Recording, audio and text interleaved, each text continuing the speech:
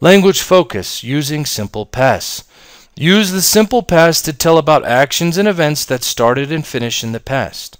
For example, Dahlia walked home quickly that night. Ronald studied all night for that exam. Forming the simple past. Add d or ed to the base form of most regular verbs to form the simple past. For example, in 2003 I celebrated Christmas with my family in Barranquilla. Number 2. I graduated from high school in 2001. Some verbs are irregular in the simple past, which means they do not have d or ed. For example, Elisa and her sister spent all their money. Or I met my husband at the airport on New Year's Day.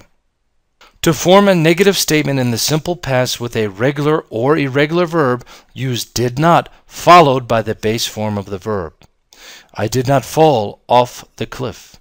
I did not waste any money. The verb be has two past forms, was and were. Doug was a good father. Scott and Eric were anxious. Scott and Eric, plural, Doug, singular. To form negative statements with the verb be in the simple past, use not after was or were. For example, Elisa was not nervous. They were not generous people. The simple past, we have affirmative statements and negative statements. We have the subject and the base form of the verb. I'll give you one example in each, and I expect you to complete the rest at home on your own piece of paper. For example, the subject she. The base form of the verb is wait plus ed. She waited patiently. For negative statements, you have subject, did plus not, and the base form of the verb. So she did not wait patiently. Please complete the rest at home on your own piece of paper and the simple past. We have affirmative statements and negative statements. Looking at was and were. The subject, I was. You were.